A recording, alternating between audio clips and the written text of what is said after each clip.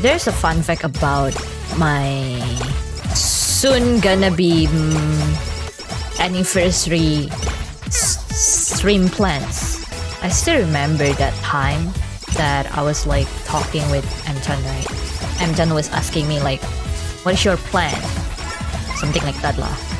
And then I said, M-chan, do you have any idea about like what usually what's the best thing that I can do lah something like that lah.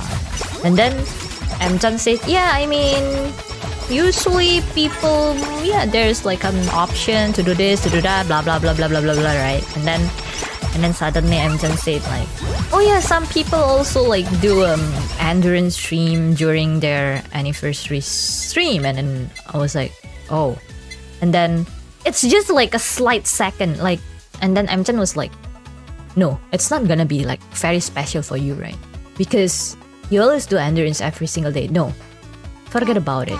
And I was like oh yeah okay.